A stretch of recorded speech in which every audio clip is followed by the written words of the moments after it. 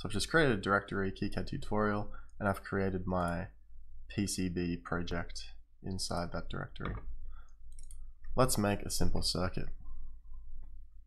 So I'll first add a connector, and everything's going to be based off this connector. I'll have, so I can just search for con, and I'll make this a uh, a generic connector, so just a 1 by 6 male. Doesn't matter what type of connector you're going to use because the footprint we assign to this later. Uh, and what else are we going to need? Let's put in, we'll put in D for diode. We'll put in uh, a little power LED perhaps, so we need an LED. We can use the R key to rotate. We'll need a resistor for that LED. R for, LED, for resistor. And we can just, and anytime you overlap two pins, they will automatically connect. That's how, if, if pins are uh, stacked up like that, KiCad will use that as a connection. And you can see here that it's dropped in the, the node there. What else are we going to need? Ah, oh, let's add a capacitor as well. So we've got all the basics. So of course C for capacitor. And connect those all together.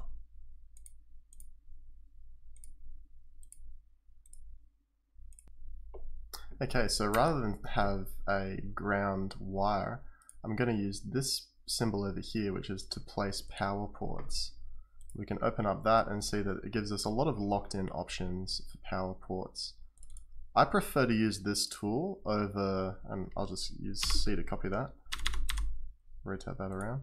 I prefer to use this power ports tool. A lot of people like to use these global labels and create like a, a, global label like that to use as their grounds or other voltage systems. I don't think that's a good idea because if you have say a typo like you write lowercase ground or you start mixing upper and lowercase you'll find that those actually won't connect. So I find that I find that using these pre-baked power labels to be the, the most reliable way to do that. Okay, so now I'm going to put in a custom part that goes here.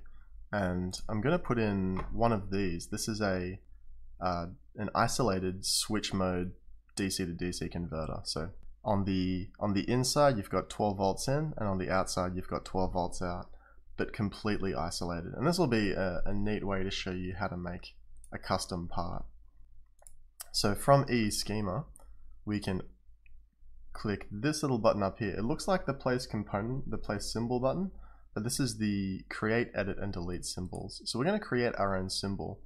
And you'll see these are all the libraries that are built into KiCad, but I'm going to create a new symbol, or actually rather start, go to File, New Library, and you'll see that it's going to put it in the directory that our project is. So this is going to be a local library that follows the project around. Can't stress this enough. You you really need to create your libraries as local project specific libraries rather than globals. If you make it a global, the library will just be sitting off on your hard hard drive somewhere, and when you want to send that uh, project to someone else, uh, half the symbols are going to be broken because all the custom parts that you make, they're just not going to appear. So let's just call this um, components. And this is this is where this is the crux of it. We have to select project here if we want this to be shareable. Okay, so now I've got a now I've got a blank canvas to make our part with. And if we go to the data sheet for this part, we can see, where's our pinout? So what do we have? We have one, two, three, four, five, six, seven, eight. So we have seven pins, but their um, number four is missing. And I'll quickly copy the pin out as I see it here. Go to create a new symbol and go down to our components.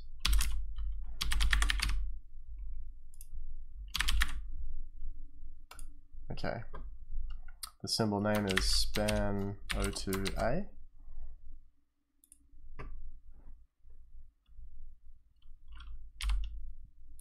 Just move these out of the way. and place some pins. Pin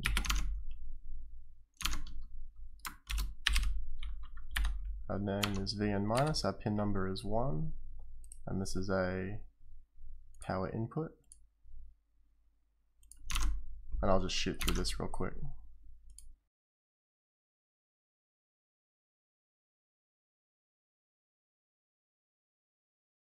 Okay, so we have all our pins defined.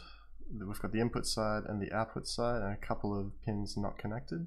I'll just create a body for the symbol using this rectangle tool. And a nice touch is to right click, go to options and fill with body background color. Just center that more or less and we can save that.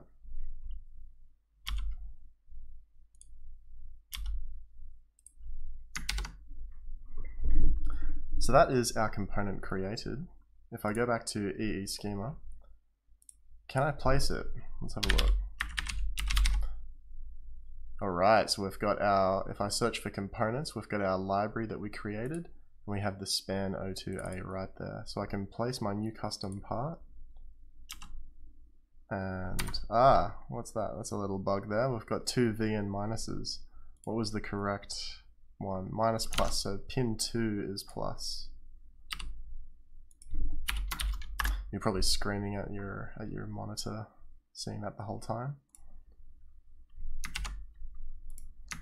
So if I save that, how can I update this? You know what? It just updated by itself. Ah, love it. On your KiCad. It's uh it's convention to put positive above negative in, in the libraries as well, so I'm gonna do that too. Just because we can. Hey, that just updates on the fly. I love it. Cool. Uh, we can use the not place no connection flag here. Okay, so now we've got our power supply input and the output. So I'll just send it on its way. Oh, you know what? I'll use the power ports. So let's call this plus 12p. That sounds that sounds like something that could be isolated. And we need a different ground symbol. So what's our uh, we'll call this ground D or whatever. Oh, ground power. Ground D. That sounds good. So our board isn't really that interesting. It just takes power in and passes power out. But I think that's probably enough for us to get started with. We'll just add some no connections here and save that. So one important thing about that library we created, when we go to preferences and manage symbol libraries, you can see that under the global library list are all the libraries that we see in the component selector. But under project specific libraries, we have our KiCad uh, project directory and the library that we created. What that means is if you bring in libraries from the outside and save them inside your project, you just need to add them here by pressing this uh, add, add existing library button. Next up, we're going to assign some footprints to these symbols.